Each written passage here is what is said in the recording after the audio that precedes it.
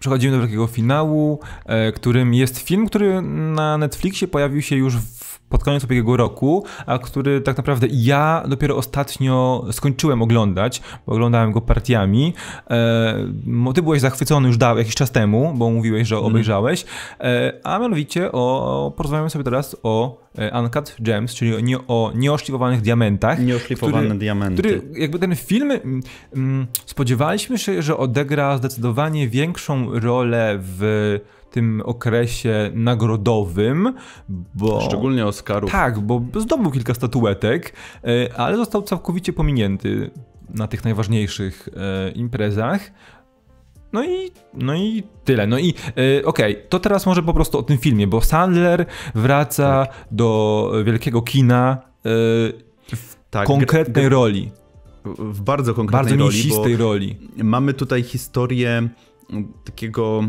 Mm, jakby to określić, y, żydowskiego trochę rzezimieszka, takiego troszkę gościa działającego na granicy y, prawa, mającego taki swój... No Lombard, e, ekskluzywny, lo, ekskluzywny Lombard. Właśnie Sklep z biżuterią. Sklep z diament. O właśnie, sklep z biżuterią. Ale taką, taką typową, ale ta, bo on tam też zastawia rzeczy, także to jest coś takiego na, na granicy, taki ekskluzywny. Takie eks... szemra, tak, szemrane interesy tak, prowadzi Ekskluzywna lik, likwa. tak.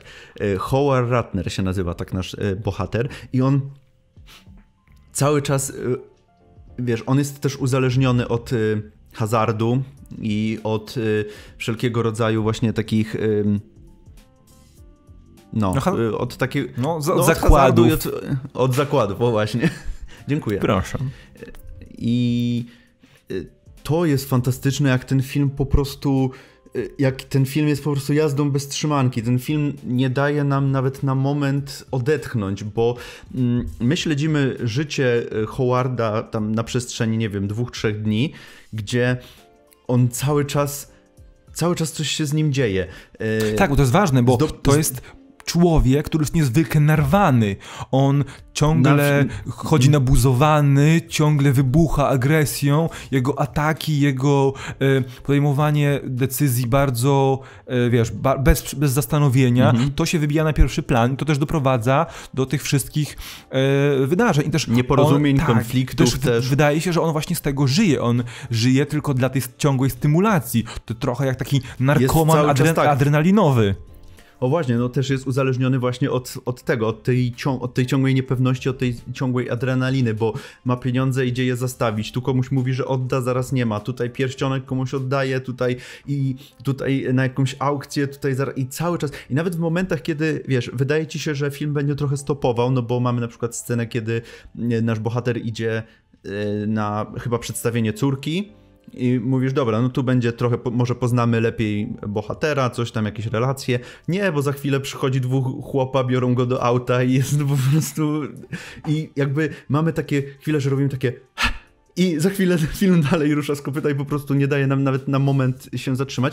I ja powiem szczerze, że byłem bardzo zmęczony po tym filmie. No właśnie, właśnie to jest to. Ja ten film oglądałem na trzy razy. On jest, on, bo on jest długi, bo on ma dwie godziny, pięć minut bodajże. Pie... E, mhm. Ale były ta kumulacja tych wydarzeń, tego tempa powodowała, że w pewnym momencie mówię, no nie, muszę oczyścić głowę, żeby móc wrócić do niego i wszystko jeszcze raz prześle prześledzić w skupieniu. To było tak, tak dużo tego wszystkiego, tak szybko tego wszystkiego. Bracia Safdi e, stworzyli tak tak ekspresyjny, tak intensywny film, tak. że tego nie dało się obejrzeć. W sensie nie dało się obejrzeć i stwierdzić, a nie, to sobie jeszcze, jeszcze, jeszcze jakiś jeden film obejrzę. No nie? Po, po no, tym. Nie dało no, się, no nie. I...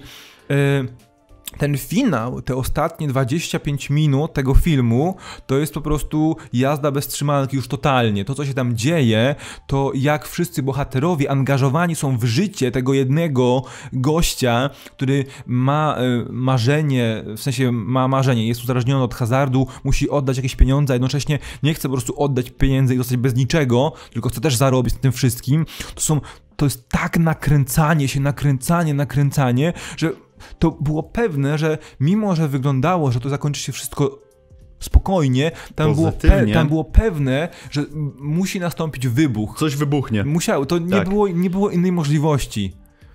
Ten finał naprawdę dostarcza wszystkiego, czego powinien dobry film dostarczyć. I tak jak już zaznaczyliśmy na samym początku, no mamy tutaj Adama Sandlera, który y, no jak dla mnie to jest film jednego aktora i, i, tak naprawdę tylko i wyłącznie Adam Sandler tutaj się w jakikolwiek sposób wybija, no ale to jak on się wybija, to jak wszedł w po prostu y, w buty tej postaci, to jak on się nią stał, te wszystkie jego właśnie jakieś y, tiki, te nerwania takie, widać, że on, widać to wszystko na twarzy też aktora, że on jest cały czas po prostu czeka tylko, żeby, żeby znowu coś zastawić, czy żeby coś znowu pożyczyć, czy cokolwiek, no nie wiem. Mm, I moim zdaniem to też bardzo nieładnie ze strony Akademii, że go pominęli. W ogóle, nawet nominacji. W ogóle. W ogóle. No, naprawdę, bo y, moim zdaniem były nominacje w tym roku, już trochę nie pamiętam, ale były, wydaje mi się, że były w tym roku nominacje, które spokojnie można by było zamienić na Adama Sandlera. Zdecydowanie. No to jest film, to jest y, film obowiązkowy dla wszystkich tych, którzy chcą być na bieżąco z dobrymi filmami, które ukazały się w ostatnich miesiącach.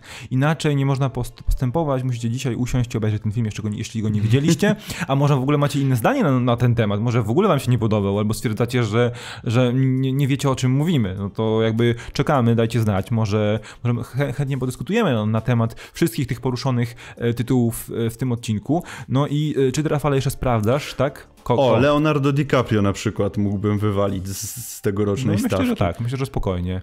E, więc no, no. Ale Rafale, no to e, co? Czy mamy coś do, masz coś do powiedzenia o Uncut Gems?